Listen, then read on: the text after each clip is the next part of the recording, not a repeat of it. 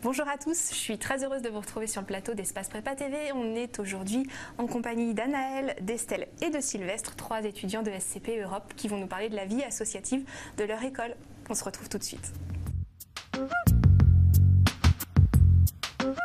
Sylvestre, tu es étudiant en première année à ESCP Europe et je te remercie d'être sur le plateau d'Espace Prépa TV aujourd'hui pour nous raconter ton investissement associatif. Tu as intégré donc ESCP Europe en septembre 2017. À partir de quand tu as commencé à t'investir dans des associations et quelles associations? Alors bah, tout d'abord, j'ai découvert quelques associations lors de mon accueil admissible, donc euh, en juin. Certaines associations m'ont plu, donc euh, notamment euh, Tribune ESCP Europe, dont je suis membre aujourd'hui. Et après, ça s'est fait en début d'année, donc fin septembre, début octobre, on a commencé vraiment à découvrir les associations et, et voir lesquelles nous, nous attiraient le plus. Donc aujourd'hui, je fais partie du BDE ESCP Europe, je suis secrétaire général. Je fais donc partie de Tribune ESCP Europe et de Star Trek ESCP Europe. On va venir à ce que tu fais au sein de Star Trek. D'abord, rapidement, euh, du coup, tes, engagements euh, au sein de Tribune euh, et, du BDE, en, quoi ils consistent? Donc, je suis, comme je vous l'ai dit, je suis donc secrétaire général du BDE, SCP Europe. Je suis donc au bureau.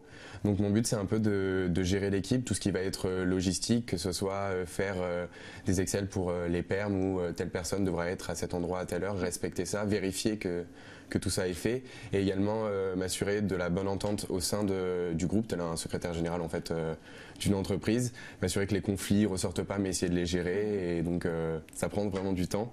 Et donc je suis aussi membre de Tribune SCP Europe, donc c'est l'organisation de conférences où on essaye d'inviter bah, des grands noms de la vie politique, économique, culturelle et donc de les interviewer pendant une heure, de faire leur portrait et donc voilà d'essayer de, découvrir ces personnes du monde et les faire découvrir aux, aux élèves de l'ECPO. Star Trek, dis-nous maintenant, euh, qu'est-ce que c'est? Alors, euh, bah, en fait, euh, Star Trek, c'est un, un, projet de cœur. Donc, c'est la réalisation d'un trek éco-responsable donc, en fin d'année. Toute l'année, on, on, va démarcher, on va organiser, on va appeler des mairies, etc.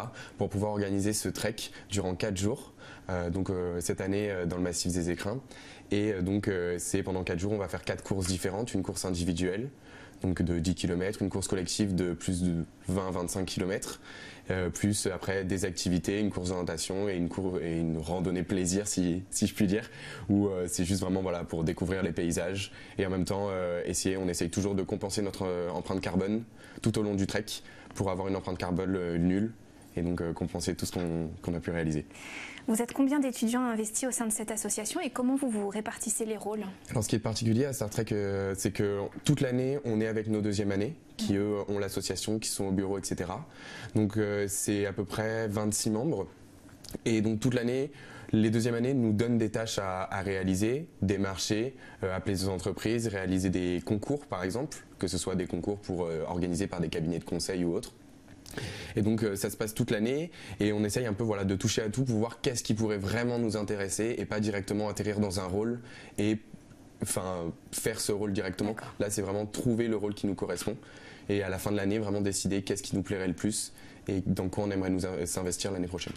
Le, trek donc vous préparez aura lieu dans quelques semaines. C'est ça. Est-ce qu'il est possible de, s'y inscrire pour participer? Alors oui, il est encore euh, possible de, s'inscrire. Il y a donc euh, une inscription qui se fait le 3 avril. Donc pour 150 euh, étudiants, qu'ils soient de l'ESCP Europe ou en dehors de, l'école.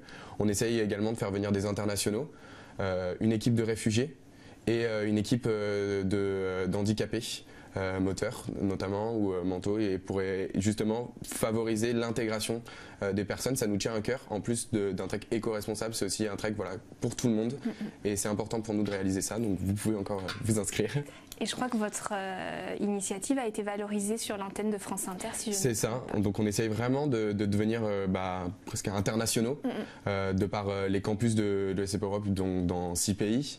Et bah, voilà, le, le but c'est vraiment de, de grandir pour euh, montrer que des étudiants peuvent réaliser un projet bah voilà, éco-responsable qui tient à cœur et non pas euh, seulement euh, des petits projets qui, passent inaperçus. Là, voilà, c'est formateur, c'est comme une entreprise, c'est pour le milieu de l'entreprise plus tard, pour, pour se découvrir. Et donc, c'est vraiment une, une association très formatrice. Sylvestre, merci beaucoup. De rien.